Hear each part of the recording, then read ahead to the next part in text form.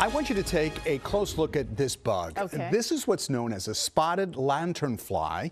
It might look cool and colorful, but actually it is bad news. The invasive bug has taken over parts of New Jersey, and experts are doing whatever they can to contain it so it doesn't destroy more plants and trees. But they need your help. Eyewitness News reporter Nina Pineda has the details. Grab him. You can try grabbing, No. attempt stomping, but the spotted lanternfly moves like lightning. They're not aggressive. They kind of look like pretty cockroaches.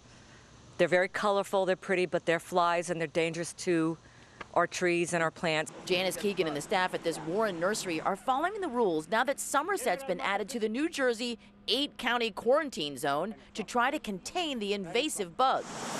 They're shaking down trees and inspecting all products that come into the Truesdale nursery to avoid an infestation. The State Department of Agriculture is encouraging citizens to go on search and destroy missions.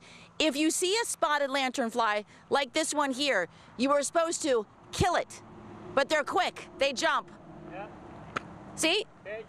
Got it. It's important to destroy the lanternfly whenever you see it because it's an invasive insect that is not native to the United States. Rutgers entomology professor George Hamilton was out looking for the elusive bug today. He feels even more counties should be added to the quarantine list. Wherever it is established, it has created some environmental and also agricultural issues. The rules to contain the species ask that you don't move wooden products like debris, bark, yard waste, firewood, construction waste, and also inspect outdoor household articles like recreational vehicles, lawn tractors, mowers, grills, outdoor furniture, tile, stone, and fire pits. When you're transporting materials like this from place to place, you're supposed to look before you leave. In Somerset County, Nina Pineda, Channel 7, Eyewitness News.